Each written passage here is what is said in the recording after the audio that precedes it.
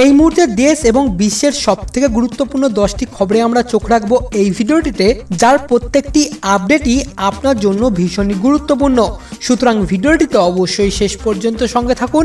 ভবিষ্যতে এই সম্পর্কিত যে কোনো আপডেট সবার আগে পাওয়ার জন্য অবশ্যই চ্যানেলটিকে এক্ষুনি সাবস্ক্রাইব করে নিন এবং সাবস্ক্রাইব হলে পাশে নোটিফিকেশন বেলটিকে বাজিয়ে দিন, যাতে আমি নতুন কোনো ভিডিও আপলোড করলে তার নোটিফিকেশন সবার আগে পৌঁছে আপনার কাছে। এবং আজ রিকোয়েস্ট আপনার কাছে ভিডিওটি দেখুন একটি লাইক দিয়ে দিন, কারণ আপনার একটি লাইক আমাকে অনেকটা উৎসাহিত করে। পরবর্তী ভিডিও আপলোডের জন্য এই মুহূর্তে গোটা বিশ্বের কাছে সব থেকে বড় প্রশ্ন ভাইরাসের ভ্যাকসিন কবে আসতে চলেছে এবং ভ্যাকসিন নিয়েই এবার যথারীতি একটি সুখবর দিল ওয়ার্ল্ড হেলথ অর্গানাইজেশন, অর্থাৎ হু।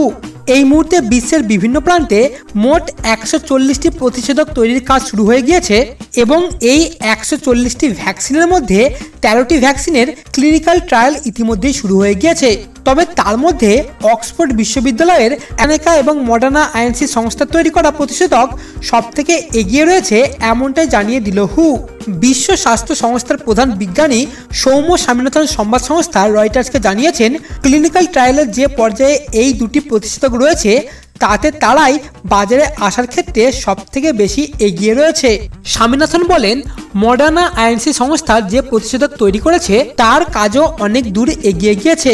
সম্ভবত জুলাইয়ের মাঝামাঝিতেই সেটি ক্লিনিক্যাল ট্রায়ালের তৃতীয় পর্যায়ে শুরু করবে, কিন্তু অ্যাজেনেকার প্রতিষেধক তৈরির কাজ যে পর্যায়ে রয়েছে, তাতে বলাই যায় যে গোটা বিশ্বের নিরিখে তাদের সামনে সুযোগ অনেকটাই বেশি। অ্যাস্ট্রাজেনেকা সংস্থা ইতিমধ্যেই তাদের তৈরি প্রতিষেধক, অর্থাৎ এজেডি ওয়ান ট্রিপল টু মানব দেহের ট্রায়ালের তৃতীয় পর্যায়ে শুরু করে দিয়েছে। ভ্যাকসিন সরবরাহের জন্য ইতিমধ্যেই দশটি চুক্তি সই করেছে সংস্থা। স্থানীয়ভাবে এই প্রতিষেধক উৎপাদনের জন্য একশো সাতাশ মিলিয়ন ডলারের চুক্তি সই করেছে ব্রাজিল আগামী ডিসেম্বর এবং জানুয়ারি মাস মিলিয়ে ভ্যাকসিনের তিন কোটি ডোজ কিনবে ব্রাজিল। বয়স্ক মানুষ, স্বাস্থ্য এবং নিরাপত্তা কর্মীদের প্রথমে এই প্রতিষেধক দেওয়া হবে এবং আগামী সেপ্টেম্বর মাসের মধ্যেই সুখবর পেতে চলেছে গোটা বিশ্ব এবং বিশ্বের মধ্যে এই মুহূর্তে সব থেকে বেশি এগিয়ে রয়েছে অক্সফোর্ড বিশ্ববিদ্যালয়। চোখ রাখব আমরা পরবর্তী খবরে। এবার যথারীতি নজিরবিহীন ঘটনা ঘটল ভারতের বুকে এবং যা দেখে রীতিমতো হতবাক গোটা দেশ। উত্তরপ্রদেশ বোর্ডের দশম এবং দ্বাদশ শ্রেণির পরীক্ষায় হিন্দিতে ফেল করেছে কমপক্ষে সাত দশমিক নয় সাত লক্ষ পরীক্ষার্থী। অর্থাৎ প্রায় আট লক্ষ পরীক্ষার্থী শুধুমাত্র হিন্দিতে, অর্থাৎ তাদের নিজস্ব মাতৃভাষাতেই ফেল করেছে এবং এই তথ্য সামনে আসার পরেই বিস্মিত হয়েছে রাজ্যের শিক্ষা মহলের একাংশ।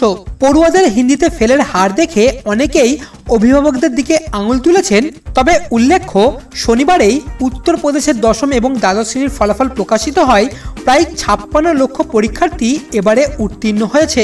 এদিনের ফলাফলে দেখা গিয়েছে, এবছর দশম শ্রেণির পরীক্ষায় কমপক্ষে দুই দশমিক সাত শূন্য লক্ষ পড়ুয়া হিন্দিতে ফেল করেছে এবং দ্বাদশ শ্রেণির পরীক্ষায় পাঁচ দশমিক দুই চার লক্ষ পড়ুয়া হিন্দিতে পাশ করতেই পারেনি।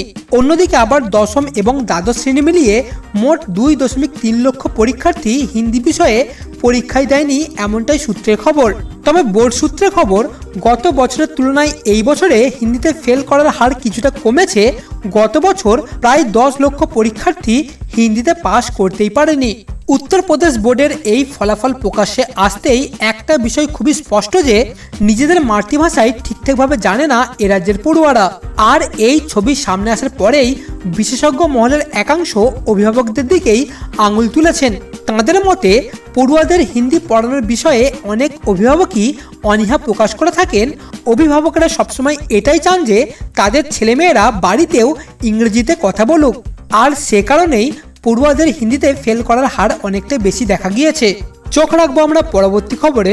সামনেই দু হাজার একুশের বিধানসভা নির্বাচন, আর ঠিক তার আগেই আগামী একুশে জুলাই রাজ্যের শাসক দল, অর্থাৎ তৃণমূল কংগ্রেসের মেগা ইভেন্ট। প্রত্যেক বছরই এই দিনটিকে মহা সমারোহে পালন করে থাকেন মুখ্যমন্ত্রী মমতা বন্দ্যোপাধ্যায়। ওই দিন লাখে লাখে মানুষ জমায়েত হয় ধর্মতলাতে। কিন্তু ভাইরাসের জেরে এবারে সেই আর জমায়েত আর হবে না এমনটাই সাফ জানিয়ে দিয়েছেন মুখ্যমন্ত্রী মমতা বন্দ্যোপাধ্যায়। কিন্তু তবে থেমে থাকেননি মমতা বন্দ্যোপাধ্যায়। নেওয়া হচ্ছে বিকল্প ব্যবস্থা, অর্থাৎ এবারের এই সমাবেশ হবে ভার্চুয়াল এমনকি এত বড় সমাবেশ কীভাবে ভার্চুয়ালি হবে তা নিয়ে আঁটোসাঁটো পরিকল্পনা করছে জোড়াফুল শিবির। ইতিমধ্যেই আগামী তেসরা জুলাই তা নিয়ে বৈঠক করবেন মুখ্যমন্ত্রী মমতা বন্দ্যোপাধ্যায় এবং তেসরা জুলাইয়ের এই বৈঠকও হবে ভার্চুয়াল তবে যে বিষয়টি উল্লেখ না করলেই নয়, মাত্র কিছুদিন আগেই এইরকমই একটি ভার্চুয়াল সমাবেশের আয়োজন করেছিলেন স্বরাষ্ট্রমন্ত্রী অমিত শাহ এবং পশ্চিমবঙ্গে তিনি প্রথমবার এই ভার্চুয়াল সভার আয়োজন করেছিলেন এবং এই ভার্চুয়াল সভার নাম দেওয়া হয়েছিল জনসম্পদ র্যালি। সফটওয়্যারের মাধ্যমে রাজ্যের প্রায় দুই হাজার নেতাকর্মীকে যুক্ত করা হয়েছিল। এবং সেই অমিত শাহের দেখানো পথেই এবার হাঁটতে চলেছে তৃণমূল। অনেকের মতে মমতার এই সমাবেশ যথেষ্ট তাৎপর্যপূর্ণ। তাই এবছর একুশে জুলাই কী ধরনের কর্মসূচি নেয় তৃণমূল তা নিয়ে রাজনৈতিক মহলে এখন কৌতূহল থাকছেই। কিন্তু আগামী তেসরা জুলাই মুখ্যমন্ত্রী কি সিদ্ধান্ত নেন সেটাই এখন দেখার। চোখ রাখব আমরা পরবর্তী খবরে। গোটা বিশ্বে এই মুহূর্তে লাফিয়ে লাফিয়ে বাড়ছে প্রাণ হারানোর সংখ্যা, এমনকি সাথে সাথে বেড়ে চলেছে ভাইরাসের কবলে পড়া মানুষের সংখ্যাও।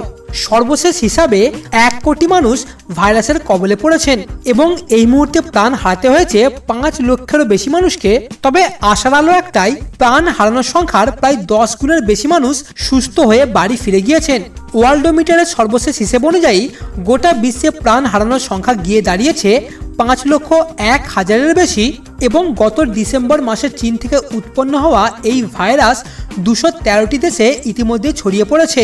অন্যদিকে আবার ওয়ার্ল্ডোমিটার জানাচ্ছে, এখনও পর্যন্ত গোটা বিশ্বে মোট ভাইরাসের কবলে পড়তে হয়েছে এক কোটি একাশি হাজার পাঁচশো বাইশ জনকে এবং গোটা বিশ্বে এখনও পর্যন্ত চিকিৎসাধীন রয়েছেন, অর্থাৎ মোট অ্যাক্টিভ কেস রয়েছে একচল্লিশ লক্ষ একুশ হাজার আটশো সাতান্ন এবং এদের মধ্যে আবার দুই শতাংশ মানুষের অবস্থা আশঙ্কাজনক এবং এখনও পর্যন্ত চুয়ান্ন লক্ষ আটান্ন হাজারের বেশি মানুষ সুস্থ হয়ে উঠেছেন। চলুন এবার দেখে নিই বিশ্বের মধ্যে কোন পাঁচটি দেশ সব থেকে খারাপ অবস্থায় রয়েছে। প্রথমে রয়েছে আমেরিকা, সেখানে এখনও পর্যন্ত প্রাণ হারাতে হয়েছে এক লক্ষ আঠাশ হাজারেরও বেশি মানুষকে। দ্বিতীয় স্থানে রয়েছে ব্রাজিল, সেখানে এখনও পর্যন্ত প্রাণ হারাতে হয়েছে সাতান্ন হাজারেরও বেশি মানুষকে। তৃতীয় স্থানে রয়েছে ইংল্যান্ড। সেখানে এখনও পর্যন্ত প্রাণ হারাতে হয়েছে তেতাল্লিশ হাজারেরও বেশি মানুষকে। চতুর্থ স্থানে রয়েছে ফ্রান্স। সেখানে এখনও পর্যন্ত প্রাণ হারাতে হয়েছে উনত্রিশ হাজারেরও বেশি মানুষকে এবং পঞ্চম স্থানে রয়েছে স্পেন। স্পেনে এখনও পর্যন্ত প্রাণ হারাতে হয়েছে আঠাশ হাজারেরও বেশি মানুষকে। অন্যদিকে আবার দক্ষিণ এশিয়ায় ভারত রয়েছে ষোলো হাজারের গণ্ডিতে, অর্থাৎ ভারতে এখনও পর্যন্ত ষোলো হাজার মানুষকে প্রাণ হারাতে হয়েছে। পাকিস্তান রয়েছে দ্বিতীয় স্থানে, সেখানে এখনও পর্যন্ত চার হাজার মানুষকে প্রাণ হারাতে হয়েছে। তৃতীয় স্থানে রয়েছে বাংলাদেশ, সেখানে এখনও পর্যন্ত এক হাজার ছশোর বেশি মানুষকে প্রাণ হারাতে হয়েছে এবং চতুর্থ স্থানে রয়েছে নেপাল। তবে ভারতে প্রাণ হারানোর সংখ্যা বেশি হলেও সবথেকে উদ্বেগজনক অবস্থায় রয়েছে পাকিস্তান, কারণ পাকিস্তানের জনসংখ্যার তুলনায় প্রাণ হারানোর শতাংশ অনেকটাই বেশি। চোখ রাখব আমরা পরবর্তী খবরে। এবার ভাইরাসের কবলে পড়তে হলো গুজরাটের প্রাক্তন মুখ্যমন্ত্রী শঙ্কর সিং ভাগেলাকে। জানা গিয়েছে, ভাইরাস পরীক্ষা করা হলে তার রিপোর্ট সম্পূর্ণ পজিটিভ এসেছে। শেষ দুদিন ধরে জ্বরে ভুগছিলেন তিনি এবং ভাইরাসের সমস্ত উপসর্গ তার শরীরে দেখা মেলায় তার লালারসের নমুনা সংগ্রহ করা হয় এবং গতকালকেই তার রিপোর্ট সম্পূর্ণ পজিটিভ আসে এবং বর্তমানে তিনি হোম কোয়ারেন্টাইনে রয়েছেন এমনটাই খবর পাওয়া গিয়েছে।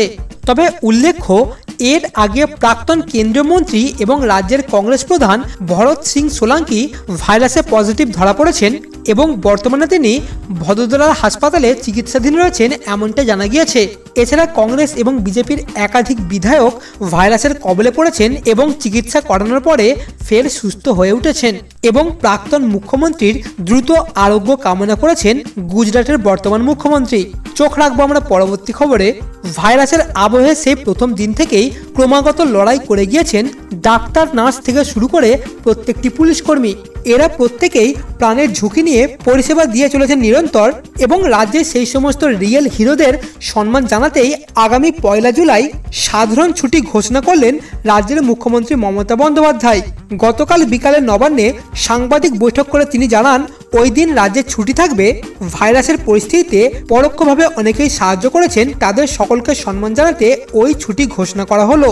তবে প্রসঙ্গত, পয়লা জুলাই রাজ্যের প্রাক্তন মুখ্যমন্ত্রী তথা জনপ্রিয় চিকিৎসক ডাক্তার বিধানচন্দ্র রায়ের জন্মদিন চিকিৎসক মহলের কাছে ওই দিনটি বিশেষ গুরুত্বপূর্ণ এবং সাম্প্রতিক ভাইরাসের আবহে সেই ডক্টরস ডেকেই করোনা যোদ্ধাদের সম্মান জানানোর জন্যই বেছে নিলেন মুখ্যমন্ত্রী। ওই দিন রাজ্যের সমস্ত সরকারি দপ্তরই ছুটির আওতায় পড়বে তবে মুখ্যমন্ত্রী মমতা বন্দ্যোপাধ্যায়ের এই ঘোষণা চিকিৎসকদের কাছে বিশেষ অনুপ্রেরণার এমনটাই মত সংশ্লিষ্ট মহলের। চোখ রাখব আমরা পরবর্তী খবরে। এই মুহূর্তের সব থেকে বড় খবর, যেমন ভাবা তেমন কাজ অবশেষে ভারতে নিষিদ্ধ করা হলো টিকটক সহ উনষাটটি অ্যাপকে এবং এই উনষাটটি অ্যাপের উপরে সম্পূর্ণরূপে নিষেধাজ্ঞা জারি করল ভারত সরকার। চীন ভারত বিবাদের জেরেই এই সিদ্ধান্ত নেওয়া হয়েছে ভারত সরকারের তরফ থেকে এমনটাই সূত্রের খবর। বহুদিন আগে থেকেই চীনা অ্যাপ নিষিদ্ধ করার বিষয়ে আলোচনা চলছিল কি কি চীনা অ্যাপ রয়েছে সেই তালিকা আগেই চেয়েছিল কেন্দ্র। এবার সরাসরি এই সমস্ত অ্যাপগুলিকে সম্পূর্ণরূপে নিষিদ্ধ করা হলো। এর মধ্যে সবার উপরে রয়েছে জনপ্রিয় অ্যাপ টিকটক যে অ্যাপ প্রত্যেকটি মানুষের এখন মোবাইলে ছড়িয়ে রয়েছে। এই টিকটক হচ্ছে একটি চীনা অ্যাপ তাই লক্ষ লক্ষ সাবস্ক্রাইবার থাকা সত্ত্বেও নিষিদ্ধ করে দেওয়া হলো এই অ্যাপকে সূত্রে খবর, যারা এই টিকটক বা অন্যান্য অ্যাপগুলি ব্যবহার করছেন, তাদের সমস্ত ব্যক্তিগত তথ্য নিজেদের সার্ভারে লোড করতে থাকে। এই সমস্ত অ্যাপগুলি এমনকি শুধুমাত্র ভারতীয়দেরই নয়, দীর্ঘদিন ধরেই বিশ্বজুড়ে আইফোন ব্যবহারকারীদের ব্যক্তিগত তথ্য এবং কার্যকলাপের উপরে নজরদারি চালাতো টিকটক অনেক সাইবার বিশেষজ্ঞই মনে করছেন, ব্যবহারকারীদের ক্লিপবোর্ড অ্যাক্সেস করে হয়তো তাদের ব্যক্তিগত মেসেজে পর্যন্ত আরই পেতেছে এই চীনা অ্যাপ। এবং সেই কারণেই এই নজিরবিহীন সিদ্ধান্ত নেওয়া হলো ভারত সরকারের তরফ থেকে। এরপরে চলুন দেখে নিই সব থেকে যে গুরুত্বপূর্ণ অ্যাপগুলিকে এদিন ব্যান করা হয়েছে। প্রথমে রয়েছে TikTok, SHAREit, Kwai, UC Browser, DU Battery Saver, Helo app, Like app YouCam makeup, Mi Community, UC News, Xender, Parallel Space, Viva Video, Vigo Video, DU Recorder, Vault, DU Browser, Clean Master, Hago play with new friends, Sweet Selfie VMate U Video Photo Wonder ES File Explorer এছাড়া আরও অনেকগুলি অ্যাপকেই সম্পূর্ণরূপে ban করা হয়েছে। আপনারা এই list থেকে দেখে নিতে পারবেন আপনাদের ফোনে ঠিক কোন কোন অ্যাপগুলি ডাউনলোড করা রয়েছে এবং যে অ্যাপগুলি আপনার ফোনে রয়েছে এই মুহূর্তে সেগুলিকে অবশ্যই আনইনস্টল করে দিন। তবে ভারত সরকারের এই সিদ্ধান্তে আপনি কতটা খুশি? আপনার মতে এই সমস্ত অ্যাপগুলিকে ব্যান করে দিয়ে কি ভারত সরকারের উচিত হয়েছে? সেটা অবশ্যই আমাদের কমেন্ট বক্সে লিখে জানাবেন। চোখ রাখব আমরা পরবর্তী খবরে। আগামীকাল, অর্থাৎ পয়লা জুলাই থেকে শুরু হচ্ছে আনলক টু এই পরিস্থিতিতেই আজ বিকেল চারটের সময় জাতির উদ্দেশ্যে ফের একবার ভাষণ দেবেন প্রধানমন্ত্রী নরেন্দ্র মোদী। তবে প্রধানমন্ত্রী আজ দেশকে কি প্রসঙ্গে বার্তা দেবেন তা এখনও পর্যন্ত স্পষ্ট নয়। তবে মনে করা হচ্ছে মূলত ভাইরাস পরিস্থিতি মোকাবিলা এবং আনলক টু নিয়েই বার্তা দিতে পারেন তিনি। তবে প্রসঙ্গত, আজকেই শেষ হচ্ছে আনলক ওয়ান, কাল থেকে চালু হচ্ছে আনলক টু। গতকাল, অর্থাৎ সোমবারেই, নয়া গাইডলাইন প্রকাশ করেছে স্বরাষ্ট্রমন্ত্রক, কন্টেনমেন্ট জোন ছাড়া সর্বত্রই নিয়ম বিধি শিথিল করা হয়েছে। তবে আনলকের এই পর্যায়ে, অর্থাৎ আনলক টুতে কোনোরকম লোকাল এবং মেট্রো চলাচল করবে না। বন্ধ থাকবে শিক্ষা প্রতিষ্ঠান, cinema hall, multiplex, swimming pool এবং অডিটোরিয়াম। ধর্মীয়, রাজনৈতিক এবং সাংস্কৃতিক কোনো ধরনের বৃহৎ জমায়েত করা যাবে না এবং এই নিয়ম জারি থাকবে আগামী একত্রিশে জুলাই পর্যন্ত। এবং আজ বিকেল ঠিক চারটের সময় প্রধানমন্ত্রী দেশবাসীদের উদ্দেশ্যে কি বার্তা দেন তার দিকেই তাকিয়ে এখন গোটা দেশ। চোখ রাখব আমরা পরবর্তী খবরে, চোখ রাখব আবহাওয়ার দিকে। সকাল থেকেই আজ দক্ষিণবঙ্গের আকাশ মেঘলা, একের পর এক জেলায় বজ্র, বিদ্যুৎ সহ বৃষ্টির পূর্বাভাস রয়েছে। সেই মতোই গতকালকে কলকাতা এবং দক্ষিণ চব্বিশ পরগনা সহ একাধিক জেলায় বৃষ্টি চলে বেশ কিছুক্ষণ। অন্যদিকে আগামী দুই থেকে তিন ঘণ্টার মধ্যে হাওড়া, হুগলি, ঝাড়গ্রাম, পশ্চিম মেদিনীপুরে বজ্র বিদ্যুৎ সহ বৃষ্টির পূর্বাভাস দেওয়া হয়েছে আলিপুর আবহাওয়া দপ্তরের তরফ থেকে। আবহাওয়া দপ্তরের তরফ থেকে সতর্কবার্তায় বলা হয়েছে, খুব নিচুতে বজ্রপাতের আশঙ্কা রয়েছে, যেমন বাঁকুড়া, মুর্শিদাবাদ, পুরুলিয়া, পশ্চিম বর্ধমান, বীরভূম এবং মালদহ জেলায়। সঙ্গে মাঝারি বৃষ্টিপাতেরও পূর্বাভাস দেওয়া হয়েছে। আগামী চব্বিশ ঘন্টায় উত্তরবঙ্গের হিমালয় সন্নিহিত পাঁচ জেলা, দার্জিলিং, জলপাইগুড়ি, কালিম্পং, আলিপুরদুয়ার এবং কোচবিহারে অনেক জায়গাতেই ভারী থেকে অতি ভারী বৃষ্টির পূর্বাভাস দেওয়া হয়েছে। বাকি তিন জেলায় ভারী বৃষ্টির পূর্বাভাস দেওয়া হয়েছে। পরের চব্বিশ ঘন্টায় আলিপুরদুয়ার এবং কোচবিহারে ভারী থেকে অতি ভারী বৃষ্টি এবং দার্জিলিং, জলপাইগুড়ি, কালিম্পং এবং উত্তর দিনাজপুরে ভারী বৃষ্টির পূর্বাভাস দেওয়া হয়েছে। অন্যদিকে আবার দক্ষিণবঙ্গের ক্ষেত্রে আগামী আটচল্লিশ ঘন্টায় পুরুলিয়া, পূর্ব, পশ্চিম বর্ধমান, বীরভূম, মুর্শিদাবাদ নদিয়ায় কোনো কোনো জায়গাতে ভারী বৃষ্টি হবে এমনটি জানানো হয়েছে এবং বাকি জেলাগুলিতে বজ্র বিদ্যুৎ সহ বৃষ্টি হতে পারে এমনটি জানানো হয়েছে আলিপুর আবহাওয়া